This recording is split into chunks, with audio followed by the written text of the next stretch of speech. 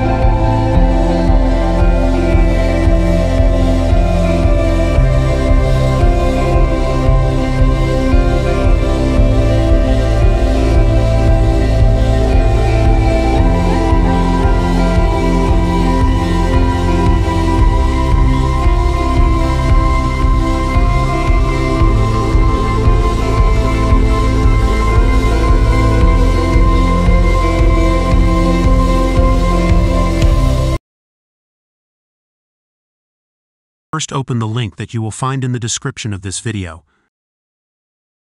Locate Create Windows 11 Installation Media. Press Download now. Press Yes. Open the File Media Creation tool you just downloaded. Press Accept. Select your language and then press Next. Select ISO file and then press Next.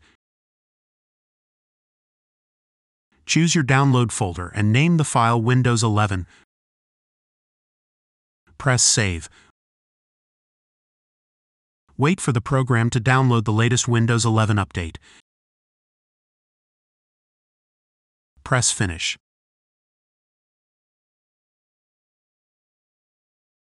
Double-click the Windows 11 ISO. Click on Setup. Press Next.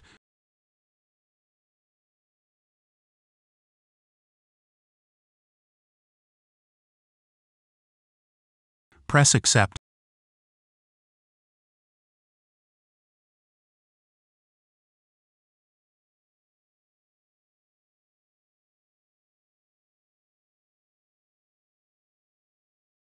Select to keep your personal files and programs. Press Install. Wait for Windows 11 to install the latest update.